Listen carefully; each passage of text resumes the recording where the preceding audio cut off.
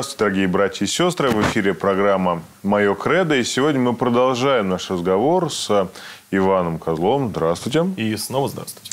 А, сегодня поговорим о а, такой теме, как церковь во время а, пандемии. И, ну, церковь во время пандемии – это вообще такое явление, да? Ну, да. Мне кажется, на эту тему скоро будут, ну, скоро уже будут писать диссертации, исследования, да, это такая Хорошая, кстати, тема для исследований. Да. Но мы поговорим о э, том, э, как э, медиасообщество угу. принимает церковь и угу. э, что делает церковь, когда люди разобщены. Угу. Вот э, скажите, вы несете свое послушание, правильно? Да. В епархии. Вы занимаетесь да. Социальными сетями, да. прямыми эфирами. Вот скажите, вы видите отклик? Да. Отклик мы, конечно же, видим.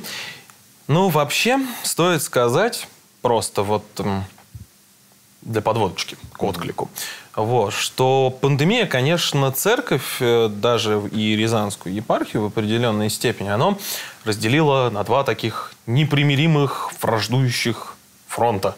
Угу. Вот. Это люди, которые смотрят трансляции и не ходят в храм, потому что ну, вполне здраво там опасаются за жизнь свою и своих родственников.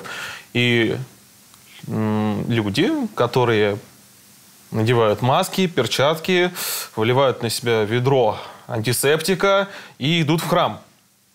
И осуждают тех, кто смотрит трансляции. И вот они тычут пальцами в друг друга и говорят, это вы не правы, нет, это вы не правы, нет, это вы не правы вы не правы. К сожалению. К сожалению, да. И такая ситуация, она, конечно, э, в какой-то степени даже и отражается в социальных сетях, в социальных медиа. Вот, потому что зачастую нам и пишут, там, что очень там, много стало трансляций. Вот. Это хорошо или плохо? Что много стало трансляций? Да. Я считаю, я, это мое личное мнение, вот я считаю, что это хорошо. А люди пишут?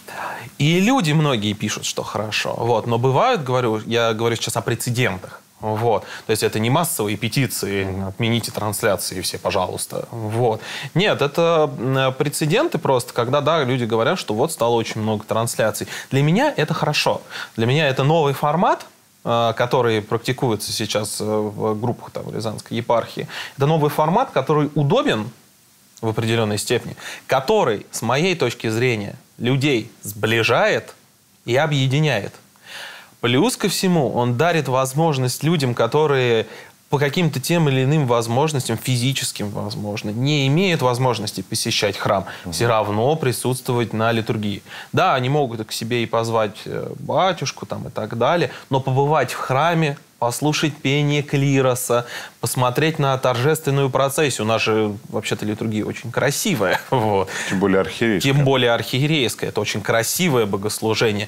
Посмотреть на него, а, побывать на нем, пусть даже и через экран э, монитора, э, это все равно для людей многих является большим утешением. Вот. Поэтому, да, прецеденты были, что говорили, многовато стало трансляций, но все-таки позитивный отклик, позитивный отклик намного больше, uh-huh. намного э, шире э, позитивный отклик. Сейчас, конечно, ситуация э, немножечко переходит в... То есть такое количество трансляций, оно было, конечно, вызвано именно вот пандемией. Вот, потому что uh, большинство сидит дома, и чтобы вот люди как раз могли посещать богослужения, хотя бы даже таким образом, а, через экран монитора все равно как бы вот трансляций было много. Сейчас мы трансляции ведем значительно меньше, только каких-то очень важных праздников, mm-hmm. и субботние, вечерние, воскресные, всегда. Вот. А сейчас чуть-чуть меньше грубо говоря, стало. Но, тем не менее, мы все равно сохраняем эту позицию. Очень людям, допустим, понравились утренние и вечерние молитвы. Вот, да. Они очень, как э, нам часто писали, э, и благодарны, что они очень дисциплинируют. Но это сподвигает. Э, вы знаете... Встать. Встать. Да и, понимаете, вот эм, а, кто по-разному можно относиться к такому явлению на жизнь, как мотивация. Да? Кто-то говорит, что она крайне важна, кто-то говорит, что она вообще не важна.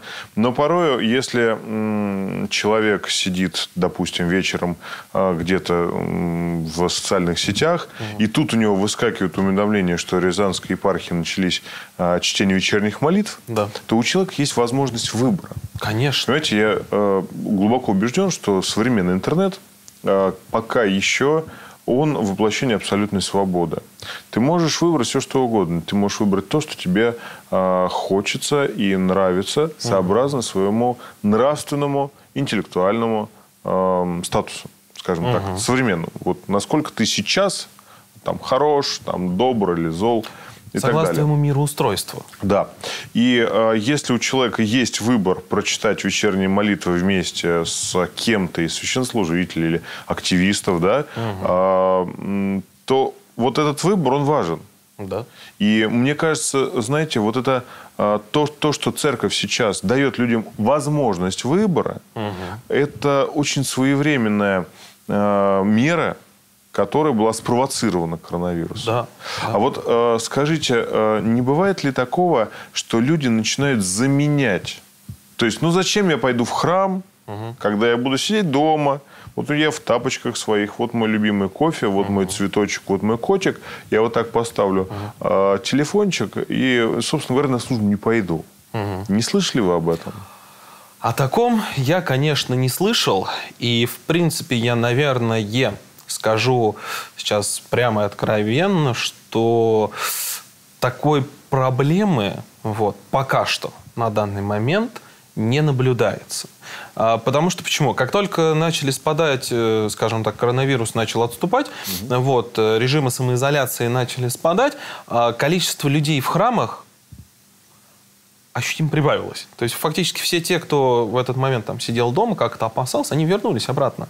То есть если раньше в трансляции смотрел достаточно много людей в период э, такой прям пандемии, пандемии. То есть огромное количество людей смотрело трансляцию, достаточно большое. Ну, если я не ошибаюсь, у вас трафик был там несколько тысяч человек, да? Ну, просмотром, да. Там, у нас сейчас он как бы сохраняется, там две, примерно, там, две с половиной тысячи. Но если раньше там у меня за службу был, там, э, одну службу я провел, у меня э, трафик там 8 тысяч просмотров mm. всего, ну, там, через день, грубо говоря, я отсматриваю, там, служба, там, 8 тысяч просмотров, там, 7,5, там, иногда до 10 доходило. Вот, пасхальная служба, ну, это понятно. Ну, понятно, Там да, вообще, там, 100-150 тысяч где-то просмотров угу. примерно. Там, за, за неделю набралось. Целый город. По факту да, по, город. да, по факту. Вот, ну, нас смотрят не только, как бы, рязанцы, там, так, люди там из разных э, городов, они смотрят нас, но все равно, тем не менее. То есть это огромный трафик. То есть сейчас трафик значительно уменьшился. Вот. Я считаю, что это неплохо. Это, наоборот, хорошо. Значит, что? Люди вернулись в храмы. Люди да. вернулись обратно. То есть, да, они были оторваны от э, живой церковной жизни. Они ее только видели. Вот. Но приятно осознавать, что она им не заменила живую цер... живое церковное общение, живое приобщение к таинству. Угу. Просто я слышал и встречался с теми людьми, которые говорят, какая разница? Mm. Вот он телефон. Но хотя, скажем так, я человек, который совершает, да, ну, скажем так, совершает Господь, а я присутствую uh-huh. во время богослужения в храме, и э, для меня несколько непонятно, да, ну, это, это разница репродукции и оригинала картин. Конечно. Это разница э, спектакля просмотренного дома, а, и когда ты сидишь в театре, это разные вещи, да? Конечно. А, дело, знаете, кстати говоря, в чем еще? А, к сожалению, есть негативные Сначала поговорим о негативе, да? Конечно. Дело в том, что вот если с возрастом, да, например, среднего возраста люди, для них все понятно. Это временная мера. И для того, чтобы просто не терять даже не столько духовную связь с Богом, сколько социокультурную связь со своим храмом. И с обществом. С обществом единомышленников. Да, да, да.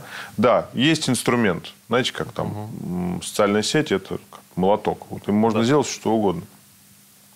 А есть опасность, знаете, для кого? Для молодых людей. Угу. Ведь э, то поколение, которое выросло уже со смартфоном в кармане или в руках, угу. э, видя, что есть богослужение онлайн, угу. задает очень четкий, качественный вопрос. А зачем мне идти, когда вот? То есть я понимаю, что это связано с отсутствием опыта, с Конечно. некоторым недопониманием жизни вообще. Но вот скажите, не сталкивались ли вы с вот таким юношеским максимализмом? И вообще, кстати говоря, как вот молодые люди относятся к трансляциям?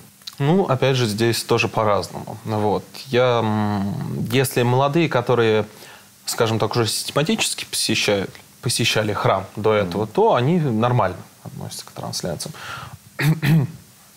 Вот, зачастую я даже мог иногда встречать у них больше авантюризма. Они, наоборот, хотят прийти в храм лично. Угу. Вот. То есть, когда э, был вот этот период пандемии, люди все равно ходили, ну, как соблюдали там социальную дистанцию, все были в масках и так далее, но молодых было значительно больше, чем пенсионеров. Очень много было молодых людей угу. именно приходило. То есть, у них такой дух авантюризма все еще не погас. Вызов, вызов? Вызов, да, вызов э, пандемии. Угу. Вот, все равно прийти в храм.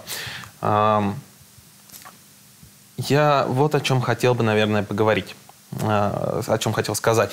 Э, да, возможно, возможно. Я не отрицаю того, что в среде молодежи действительно э, могут быть такие тенденции. То есть зачем мне идти, если я могу в любой удобный для себя момент посмотреть, увидеть, вот, и, не знаю, ну, помолиться там и так далее. Действительно, такое может быть. Вот, я не спорю. Я лично, лично с таким, конечно, не сталкивался. Вот, прям что вот. Видел людей, которые э, не ходят в храм, потому что смотрят там, это трансляции. Вот. Ну, у меня просто тоже, понимаете, как бы работа связанная сама с смартфоном. Ну, вот. Я, я могу что-то увидеть и понять э, только лишь либо лично, вот, либо если мне что-то напишут об этом. Угу. Спасибо вам за трансляцию, не хожу в храм. Очень удобно. Вот. Только если мне так напишут, я пойму, да, говорю, ой, что-то нехорошо да, получилось. А так как бы э, я не всегда могу получить именно вот такой личный ответ. Но, тем не менее, я не спорю, что такая проблема может быть, но э, есть обратная сторона. Вот. Алгоритмы рекомендаций и трансляции ВКонтакте, они достаточно хитро устроены, и зачастую нашу трансляцию посещают не только люди, которые э, являются участниками нашей группы, но и люди сторонние. Да, совершенно. Вот. Это не только в этой социальной сети, это вообще Вообще, в принципе, я говорю, да, что в принципе в социальных сетях. И это, с одной стороны, достаточно тяжелая, тяжелая ноша для администраторов, которые вынуждены очень быстро вычищать чаты вот, от людей недоброжелательных. Однако бывало зачастую масса таких ситуаций, когда достаточно молодые люди э, и писали Здравствуйте, а что у вас тут происходит? Угу, угу. Вот у нас божественная литургия в Рождественском храме. Они такие, да, а что, праздник какой-то? Вот, мы говорим, ну да, там праздник такой-то, такой-то, такой-то, такой-то. И они начинали спрашивать что-то. Uh-huh, uh-huh. Вот, то есть их было действительно интересно, то есть это было беззлобно, без э, каких-то там э, издевательств, там, подколов, типа, ой, что вы тут собрались, там, и так uh-huh. далее. У нас вообще тут пандемия, uh-huh. храм тут служит. Вот. Ну, такое ведь тоже было. Конечно, было. Вот, достаточно много. Вот. Люди были напуганы. Нельзя винить людей в том, что они были напуганы, и что, видя то, что их пугает, им сказали, что э, массовое собрание людей – это смерть. Угу. Это плохо. Поэтому, когда они видят массовое собрание людей, естественно, они напуганы. Угу. Вот, это нормально. Мы никого в этом плане не обвиняем. Не осуждаем. Вот, и не осуждаем. То, что людям страшно было, это нормально. Вот, это период такой достаточно страшный. Вот, но и был вот этот вот обратный эффект, когда люди сторонние, которые просто случайно попали, они заинтересовывались. Кто знает, может быть, оно ни к чему и не приведет. А кто знает, может быть и приведет. Это тоже какое-то э, странное, э, такое новая форма какого-то миссионерской деятельности. Конечно, конечно. Это, знаете, э, для нас, для, скажем так, активистов внутри церковных, э, вот эта ситуация с пандемией, с самоизоляцией, она, во-первых, много что порушила. Потому что, ну вот, например, там я являюсь руководителем молодежного отдела, угу. да, а вся практически молодежная политика действия Русской Православной Церкви, она нацелена на общественные мероприятия, да, на массовые мероприятия, массовые. на личный контакт, которого сейчас нет. Угу. И э, когда у тебя нет возможности видеть глаза, ты видишь камеру. Потому что другой возможности увидеть, достучаться, отправить какое-то, вот знаете, там свое послание людям просто нет. Расскажу курьезный случай, связанный с э, трансляциями, а, после чего мы в храме не стали их отменять в какой-то мере. Знаете, это не, это не главное, конечно, угу. но это такое а, побочное. Угу. Да. А, не секрет, что с детьми в храмы приходят попозже. Угу. Ну, чтобы дети не уставали, тем более, если это грудные дети, приходят к причастию, их причают и, собственно говоря, идут а, с Богом домой. А, так вот, когда мы начали тоже... А, раньше мы транслировали только проповеди. Угу. А, и хейтеров, вот этих а, таких злостных комментаторов было тоже довольно-таки много. Но когда началось вот это интересное времяпрепровождение, назовем его так, Э, мы начали транслировать богослужение. Причем специально ставили камеры так, чтобы никого не травмировать, там, чтобы никого не показывать особо сильно. Хор, царские врата, там, диакон, угу. Ну, всегда достаточно. Э, и одна э, прихожанка потом говорила, огромное вам спасибо за трансляцию. Теперь мы точно знаем, когда нам выйти из дома, чтобы прийти ровно к причастию. Представляете? То есть, на самом деле, просто люди вот пытаются и используют э, современные методики. Угу. Конечно, замещать ими нельзя. Ни в коем разе. Ни в коем. Они не дадут того. Не дадут. Э, но в то же самое время, э, как вы, вот ваше мнение? Допустим, с э, периодом времени все абсолютно самоограничительные вот эти меры, угу. они будут сняты. Да. А скажите, пожалуйста, как вы считаете, стоит ли оставить трансляции? Да, я считаю, стоит. Именно в миссионерских целях? Да, и в миссионерских целях. И в миссионерских целях, направленных вовне, вот, и в миссионерских целях, направленных вовнутрь. Те же самые трансляции утренних, вечерних молитв. Это именно то миссионерская деятельность, которая направлена вовнутрь ну, да. вот, а, нашего сообщества православного. Оно дисциплинирует, вот, там батюшки читают молитвы, иногда говорят э, какие-то поучительные там слова. Вот, поздравляют всех с праздниками. Это очень объединяет людей, а, пусть которые там живут там, в разных районах, ходят в разные храмы, но это все равно очень объединяет людей, создает такую какую-то целостную, целостную структуру из нас, mm-hmm. православных. А трансляции богослужений, да, они направлены и вовне, и вовнутрь. Потому что, ну как э, впечатлить э, человека неверующего? Вот. Ну как вот впечатлились наши предки? Приехали в Византию, увидели храм. Замечательно. Замечательно. Вот. Было бы неплохо у нас такое сделать. И тоже человек, который проходил абсолютно мимо, вот, может быть, листал свеженькие трансляции, случайно ткнул пальцем, увидел, что тут происходит что-то интересное, вот, посмотрел, такой, ой, здорово, интересно, а что это такое? вот, вот, что это происходит, а где это? Вот, и так далее. А, может быть, он заинтересуется, может быть, он пройдет мимо. Вот, а вдруг заинтересуется. Более того, знаете, бывает так, что сначала человек заходит, заходит пишет гадости, да. а потом, когда видит, что на его гадости отвечают как-то любовью, угу. хотя это не, ну, скажем так, не, не очевидная реакция. Не очевидно. Потому что чаще всего люди пишут комментарии, чтобы им ответили довольно-таки злобно. Угу. Чтобы их как-то вот... Э, чтобы была реакция. Да, да, вот этот хайп. Желательно бурная реакция. Да, да, да, да. А, а вот когда, знаете, у меня был опыт, когда я каждый день вел прямые эфиры, ответ на вопрос. Угу. И э, часть, один из самых часто задаваемых вопросов был, как относиться вот к таким злостным комментаторам. Угу с любовью, заботой, потому что это люди, знаете, как в э, юности многие начинают там ярко краситься, девчонки, uh-huh. или там мальчики начинают как-то там э, э, вести себя более агрессивно, и это выражается и в стиле одежды, и поведения. Это проблема в том, что человек не чувствует, что его видят. И он кричит о себе. Да. Поэтому, когда комментаторы пишут какие-то негативные вещи, чаще всего это говорит о том, что человек глубоко... Э, ему очень недостает внимания. Как говорил один классик, э, да, одна прекрасная, прекрасная женщина, э, хорошими делами прославиться нельзя. И вот по ее стопам идут многие люди – к сожалению, это сейчас востребовано, но э, я, по крайней мере, для себя э, принял только лишь один метод. Я практически никогда не вычищаю комментарии, mm.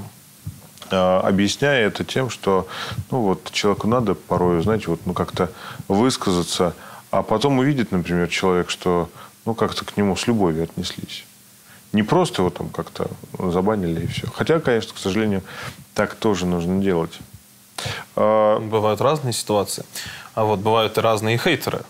Бывают те, кто приходит э, с таким юморком, вот, своим собственным, злобным, специфическим, но юморком. Такие люди, конечно, им проще объяснить, что... А есть люди, которые приходят именно с конкретным негативом. Вот, и, конечно... Скандалить? Скандалить, да. Конечно, таких людей приходится непосредственно уже как бы банить и вычищать их комментарии, потому что они в основном изобилуют и нецензурными выражениями, а оставлять их никак нельзя под трансляциями богослужений. Как-то, да. оно, как-то оно не слишком вяжется. Нет, ну есть вот. какая-то нижняя граница. Конечно, нет, да. есть какая-то граница. Естественно, если кто-то приходит с каким-то определенным там юморком, вот, им можно и ответить с тоже определенным юморком. Вот. И такое тоже часто бывало.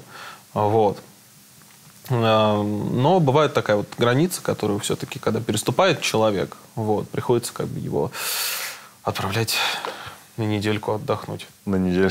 Ну да. Вот скажите, еще такой вот вопрос. Социальные сети. Так. Занимают очень много времени в жизни современного человека. Да. Мы э, не, уже не можем говорить, хорошо это или плохо. Это есть, это данность. Так уж получилось. Да, это уже э, неминуемая часть жизни. Угу. И наши дети точно будут расти примерно в этих же условиях. И растут уже, собственно говоря. А, скажите, как вы, вот вы как человек профессионально занимающийся социальными сетями, угу. вы в своих личных, в, скажем так, в свое личное время, угу. вы проводите в социальных сетях или вас уже на работе этому достаточно вполне? О, знаете, что-то с каждым вот прям буквально месяцем все меньше и меньше остается времени на социальные сети. Я одно время завел там себе и личный Инстаграм, вот, в итоге я сейчас смотрю, у меня последняя публикация полгода назад. Вот. Mm-hmm. Смотрю, контакт стал использоваться исключительно только как средство по-быстрому с кем-то списаться, там, написать что-то и так далее.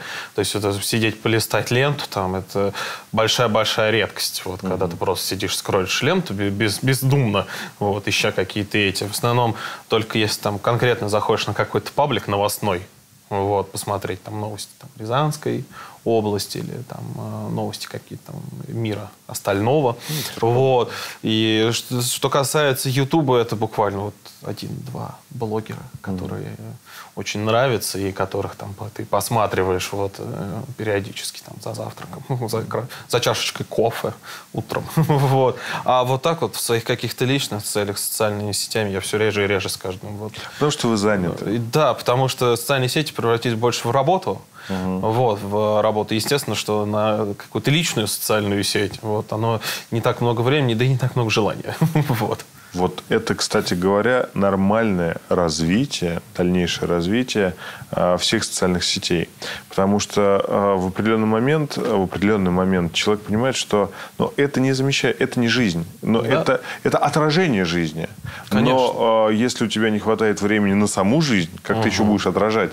Да. Поэтому задача церкви сейчас максимально показывать да, то, что у нас есть. Да. Был период в жизни церкви, когда оглашено заключенных отправляли за двери, закрывали храмы и никого, скажем так, лишних не пускали. Сейчас другой период жизни, когда мы, наоборот, максимально открыты угу. для всех людей. Мы максимально готовы к диалогу и максимально стараемся донести до а, людей прописное, прописные истины, которые нам известны уже две тысячи лет, да. а многим людям... А для некоторых, может быть, и не всегда очевидно.